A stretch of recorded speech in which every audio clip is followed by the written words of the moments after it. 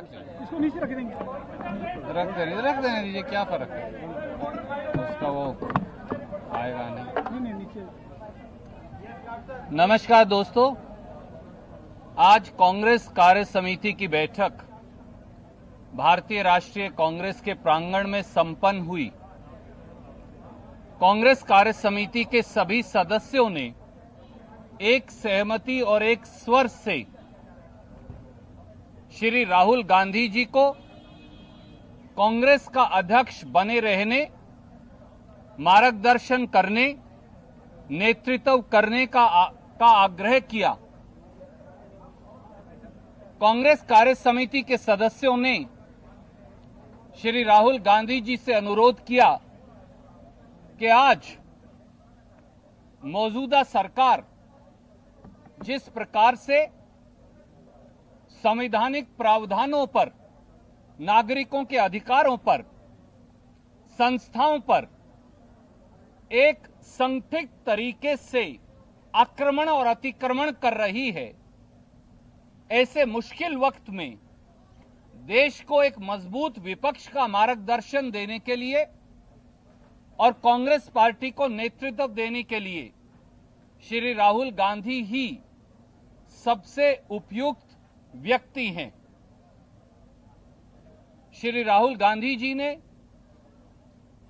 सब कांग्रेस कार्य समिति और कांग्रेस कार्यकर्ताओं का धन्यवाद करते हुए ये कहा कि वो कांग्रेस के कार्यकर्ताओं के साथ कंधे से कंधा मिलाकर एक जुम्मेवार विपक्षी नेता के तौर पर लोहा लेते रहेंगे।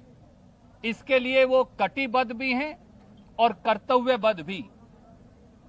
परंतु उन्होंने अपना इस्तीफा वापस लेने से इनकार कर दिया और कांग्रेस कार्य समिति से अनुरोध किया कि कार्य समिति के सदस्यों के साथ साथ प्रदेश कांग्रेस कमेटी के अध्यक्ष गणों विधायक दल के नेता गणों लोकसभा और राज्यसभा के सांसद गणों अखिल भारतीय कांग्रेस कमेटी के सचिव गणों उनसे भी एक ब्रॉडर कंसल्टेशन की जाए, ताकि एक वाइडर कंसल्टेशन के बाद एकमत राय दोबारा से कांग्रेस कार्य समिति के समक्ष आए।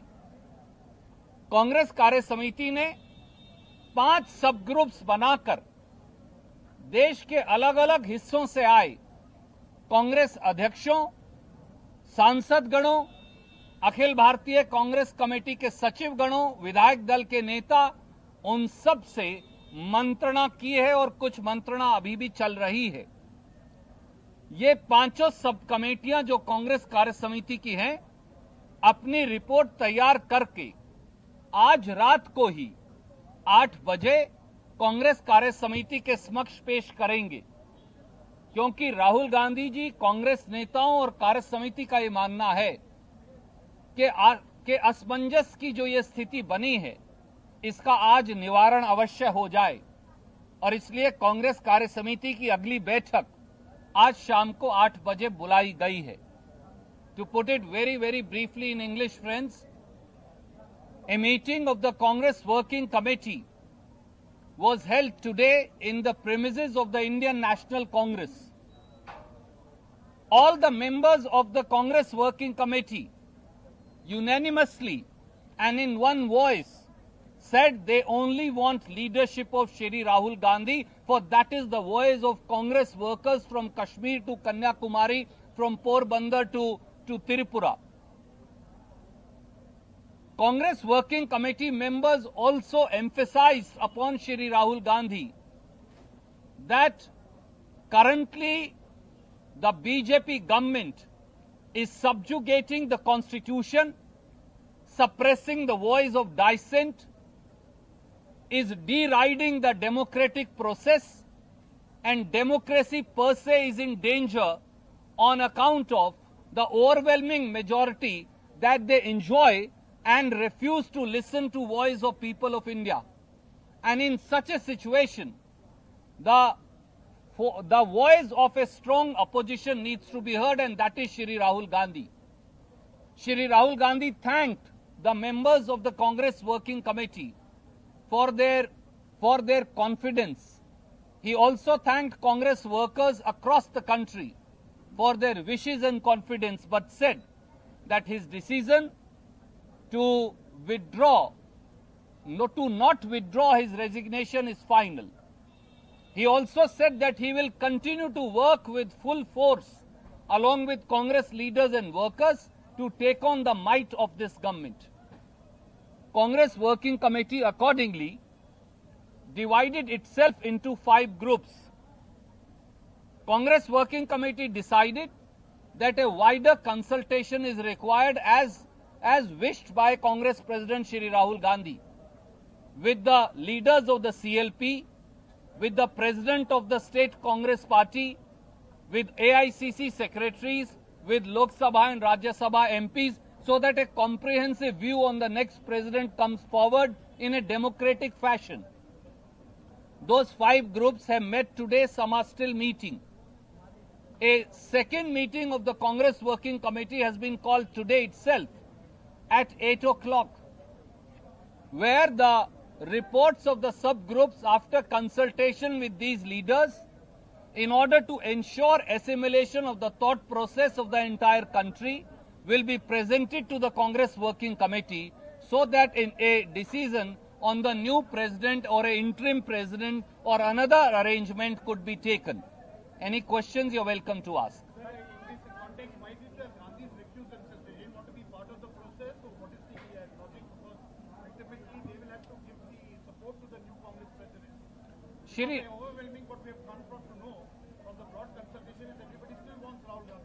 Shri Rahul Gandhi and Shrimati Sonia Gandhi both felt that if the democratic process has to prevail and if everybody's view has to be taken, then Shri Rahul Gandhi said, I will like to recuse myself for I have already tender my, tendered my resignation to the Congress Working Committee. The former Congress president also felt, Srimati Sonia Gandhi, that her presence is not required for assimilation of this democratic process so that the democratic process remains transparent and uninfluenced. And that's why both of them decided to recuse. Sir इसको हिंदी में भी sir इसको हिंदी में भी कि राहुल सोनिया ने खुद को उस प्रक्रिया से बाहर क्यों किया एक और दूसरा कि क्या लिस्ट क्योंकि लिस्ट में इन दोनों का नाम था तो इस लिस्ट बनाने से पहले इस बात की जानकारी क्या गांधी परिवार को नहीं थी? कांग्रेस अध्यक्ष श्री राहुल गांधी जी और पूर्व कांग्रेस अध्यक्ष व यूपीए चेयरपर्सन श्रीमती सोनिया गांधी का ये मानना था, जो राय उन्होंने कांग्रेस वर्किंग कमेटी के समक्ष रखी, कि इस प्रजातांत्रिक प्रक्रिया जिसमें अगले कांग्रेस अध्यक्ष का चयन होना है, उसमें वो अपनी राय नहीं रखना चाहेंगे। ताकि उनकी राय से किसी प्रकार से किसी दूसरे व्यक्ति की राय प्रभावित ना हो जाए।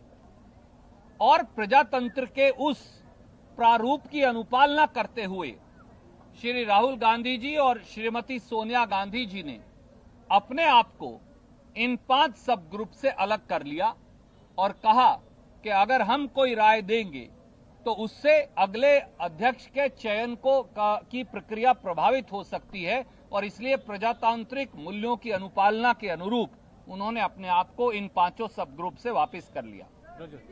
वेलकम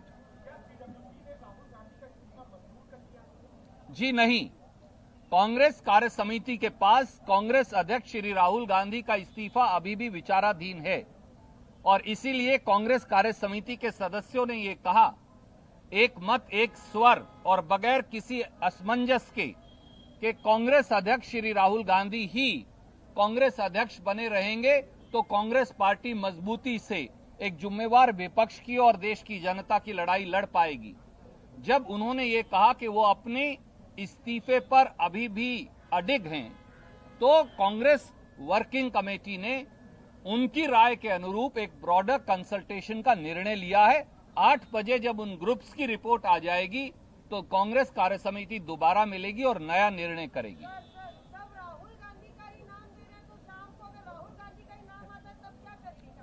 आदरणीय मित्र मैं आठ बजे शाम को क्या होने वाला है?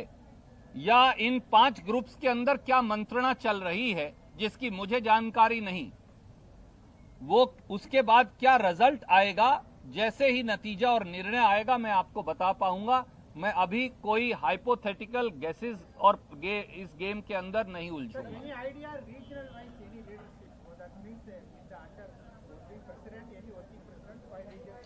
जब भी कांग्रेस का whenever Congress working committee takes any decision on this we shall be happy to inform you consultation मौखिक हो रही है लिखित हो रही है कंसल्टेशन का क्या पूरा प्रोसेस क्या है? उसमें क्या क्या हो रहा है? या औपचारिकता हो रही है? जैसा मैंने कहा, ये बाकायदा सब ग्रुप्स हैं। पूर्व प्रधानमंत्री डॉक्टर मनमोहन सिंह भी एक सब ग्रुप का हिस्सा हैं। बाकायदा उन हर व्यक्ति की राय को लिखा जा रहा है रिकॉर्ड किया जा रहा है, और हर व्यक्ति की राय को कांग्रेस कार्य समिति के समक्ष आठ बजे रख दिया जाएगा। धन्यवाद।